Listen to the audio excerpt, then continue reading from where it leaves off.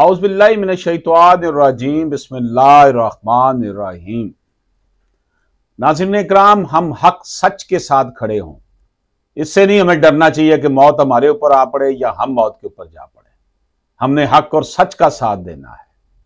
اگر ہم چاہتے ہیں کہ ہمیں ہمارے حقوق ملیں، تو ہمیں اپنے فرائض ادا کرنے ہوں گے۔ جب ہم اپنے فرائض ادا کریں گے، تو ہمارے حقوق ہمیں خود بخود مل جائیں گے۔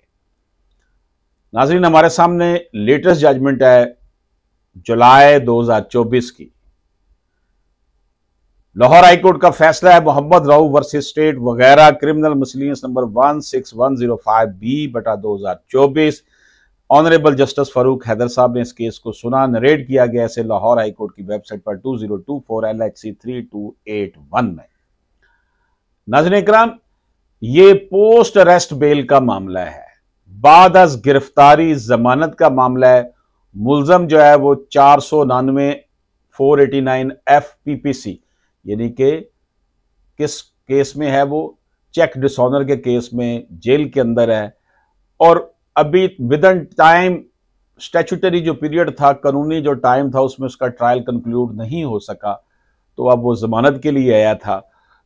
اس کیس کی بابت ایک اہم ایشو ڈسکس کیا گیا ہے۔ عدالت حضور نے۔ وہ ہم دیکھتے ہیں کہ کیا ہے۔ Whether bail on statutory ground can be withheld merely due to registration of other cases apart from act of terrorism کیا کسی شخص کی ضمانت صرف اس لیے روکی جا سکتی ہے کہ اس کے اوپر اور بھی ایف آئی آر درج ہوئی ہیں کیسز کا اندراج ہوا ہوا ہے۔ ما سوائے ٹیررزم کے۔ ٹیررزم والے بندے کو تو وہ بیل نہیں دیں گے نا۔ تو کہ ٹیررزم کے علاوہ اگر کوئی اور کیسز بھی کسی شخص کے اوپر درج ہوئے ہوں اور پھر وہ ضمانت کے بعد گرفتاری ضمانت کے لیے کسی اور ایف آئی آر میں آتا ہے، تو کیا اس کو ضمانت سٹیچوٹری گراؤنڈ پر جو ہے وہ روکی جا سکتی ہے یا نہیں روکی جا سکتی؟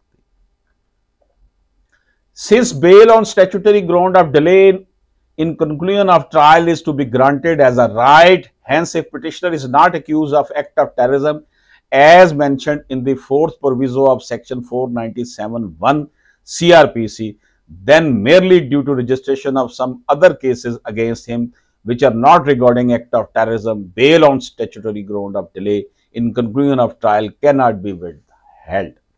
دیکھیں اگر کوئی بندہ ضمانت بازار گرفتاری کی درخواست دیتا ہے کہ سٹیچوٹری پیریڈ جو مطلب جو مقررہ ٹائم تھا وہ گزر چکا ہے اس کا ٹرائل کنکلوڈ نہیں ہوا اب لیکن اس شخص کے اوپر اور بھی ایف آئی آر ہے۔